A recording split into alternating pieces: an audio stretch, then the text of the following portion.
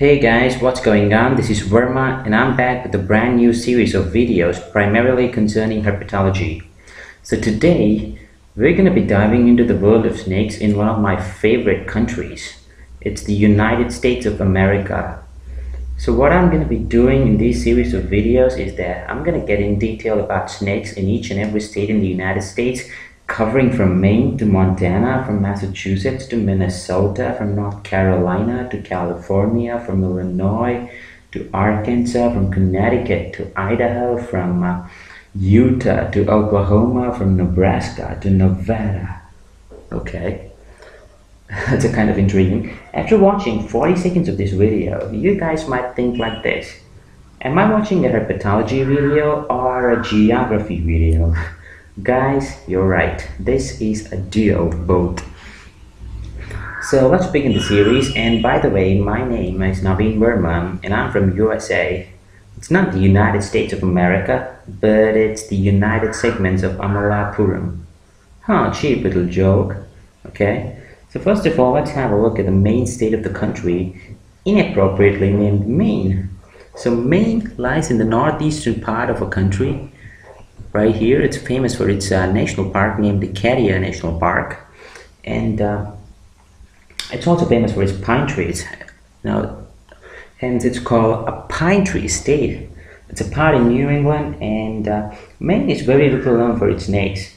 So, fun fact is that Maine does not contain any of the venomous snakes. There used to be timber rattlesnakes in Maine, but you know they're extinct right now. But who knows, there may be venomous snakes lurking in those pine trees. Who the heck knows that? But in this video, what I'm planning to do is I'm planning to cover six states in, in, in New England. They're Maine, New Hampshire, Vermont, Massachusetts, Rhode Island, and Connecticut.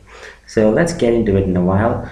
Uh, but right now, I'd like to start out with my favorite, one of my favorite snake. It's the Northern Black Racer. It's also known as a colubrid snake because you know it belongs to a colubrid family. Uh, about 2 by third of snakes belongs to colubrid family. But right now, this snake is critically endangered. Well, not in USA, but in Maine. It's a non-venomous snake, as we know. They belong to a group commonly referred to as eastern racers. They can grow up to 5 feet in length or maybe even more and weigh around 1 to 2 pounds. They're fast-moving, highly active diurnal snakes their diet consists primarily of small rodents, frogs, toads, lizards, and even other small snakes. So that's pretty cool. And our next snake is this guy right here. It's the eastern milk snake. Neither gives or drinks milk. So a small disclaimer.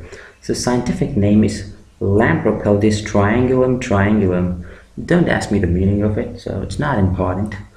Uh, eastern milk snake is a species of king snake there are 24 species of milk snake. Of course, there are subspecies. So milk snake grow up to 2 to 5 feet. Some have bands on their skin. However, red blotches instead of bands are seen in some snakes like this. So some milk snakes have striking resemblance to coral snake. So you can see that uh, resemblance. There we go. There another. And um, so milk snakes are mostly nocturnal Milk snakes typically eat slugs, insects, crickets, and earthworms. Adult diet frequently includes lizards, kings, and small mammals. They're also known to eat birds and their eggs, frogs, fishes, and other snakes as well. So they kind of look like milk snake and often and often get killed by humans. So really pity. So sad. So our next snake is this beauty called Eastern garter snake also known as a common garter snake. So scientific name is. It's a species of sign snake. The most common garter snakes have a pattern of yellow stripes on their brown or green background. So it's really good for camouflage. So the, their minimum, uh, the, the maximum uh, recorded size is 5 feet, minimum size is around uh, 1 feet. I think more you know, small snakes, babies grow up to only maybe six or seven inches. So uh, they are diurnal. So and uh, garter snakes have venom component in their saliva, which may be toxic to amphibians and other small animals, but they're not toxic enough to kill humans. so that's pretty cool and this guy right here is uh, the maritime garter snake to get that maritime garter snake scientific name is Thamnophis sirtalis pallidulus I think it's pallidulus okay so uh, these are the common subspecies of um, garter snake and you can find around uh, USA as well so the major difference between eastern garter snake and maritime garter snake is the stripes on their you know midsection. Uh, they're a little brown in their midsection, unlike um, the eastern garter snake. So that's pretty cool. And our next snake is this guy, the northern uh, water snake. I can't see that probably. There it is, the beauty. Scientific name is Nerodia accipedon. It's a species of a non-venomous snake in colubrid family. They grow up to 5 inches in length or even more. They commonly resemble water moccasin and often get killed unnecessarily as a result of mistaken identity. They undergo hibernation as well. They mostly spend near water looking for small fish, frogs, leeches, salamanders, etc. And predominantly, their diet comprises of this uh, of an invasive species called uh, goby fish. There we go. This is the goby fish. Uh, it's an invasive species from uh, South America, for your information. Okay, with that being said, let's move on to our next snake. It's the ribbon snake. Right here, it's the eastern ribbon snake. Thamnophis sauritus a subspecies of a ribbon snake. It gets its name from its slender body, it grows up to 3 feet. They feed on small fish, frogs, tadpoles, occasionally on insects as well. Sometimes even on their own young, okay? Their own babies.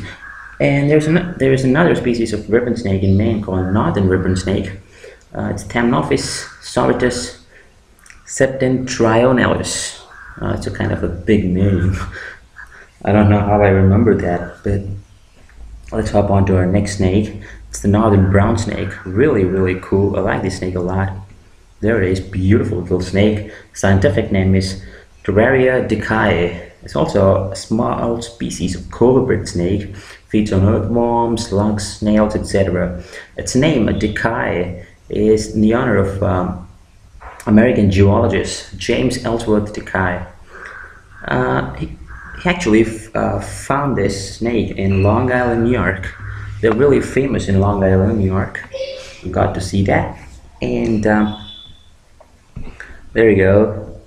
Um, the northern brown snake. And the next snake is one of my favorite snakes. The northern ringneck snake, Diadophis punctatus. Really famous around, around uh, America. Um, it's not an exotic creature.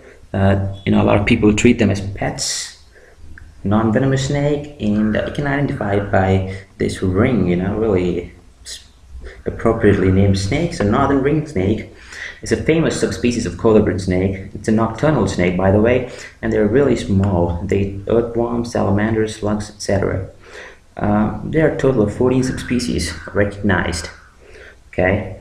And our next beauty is um, a smooth green snake it's another colubrid.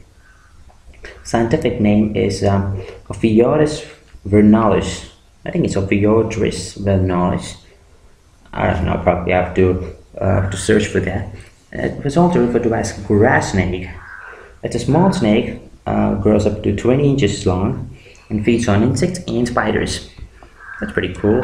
And our final snake in Maine is the northern red belly. It's another colubrid Scientific name is Storeria occipitomaculata. Occipitomaculata. I think it's right. Occipitomaculata. Of course. Also referred to as fire snake. They feed on slugs, earthworms, etc. So that's it, guys. I think this video is getting too long, so I would like to finish it right now with this uh, northern red belly. Uh, as you can see, you can see that uh, it contains belly colored red, also called as fire snake the reason. So um, let's uh, look out for the other states in, in our next video. So until then, it's goodbye from me and you. See you later.